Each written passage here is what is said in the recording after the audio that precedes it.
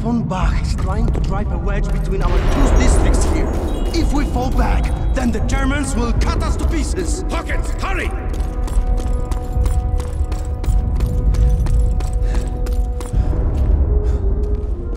Hawkins! Come on!